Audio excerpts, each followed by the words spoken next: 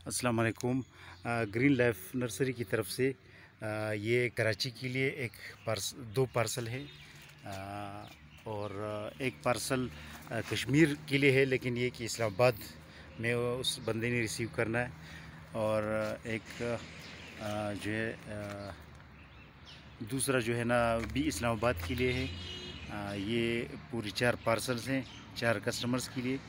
इसमें मुख्तलिफ़ अकसाम की फ्रूट प्लांट्स है मसलन जापानी पल, पारसिमन आलू बुखारा, आलूचा ये जो है एप्पल के प्लांट्स हैं और ये रोज़मेरी है, जो यूरोप में जो लोग जो है ना गोश्त के लिए में इस्तेमाल करते हैं और ये ये लुकाट प्लांट्स, चेरी प्लांट्स और इसके अलावा जो है, ये खुरमानी का पौधा और ये जापानी पल और शहतूत की पौधे भी है इसमें, जो असली कस्म की शहतूत है, कलमी और ये अनार के प्लांट्स है ये इंजीर की, ब्लैक असली इंजीर जो होता है उसकी प्लांट्स हैं और ये अंगूर की, काले अंगूर और पिंक अंगूर की प्लांट्स है ये सारे हमने रवाना किए और ये हमारे कस्टमर ज़्यादातर ग्रीन रूफ्स के लिए छतों के ऊपर गमलों में रखते हैं तो उसके लिए भी इस्तेमाल करते हैं।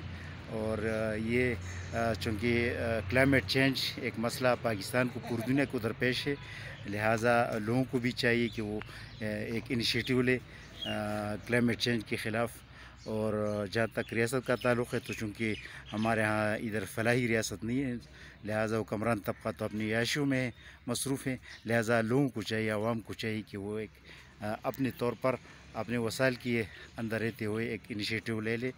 तो ये ज़्यादा बेहतर है क्योंकि पाकिस्तान क्लाइमेट चेंज के हवाले से दुनिया में दस नंबर, दस लिस्ट में आता है। दस नंबर वहाँ सबसे ज़्यादा मुतासर मुल्क है। तो इसी वजह से आवाम को चाहिए कि वो एक्शन ले लें।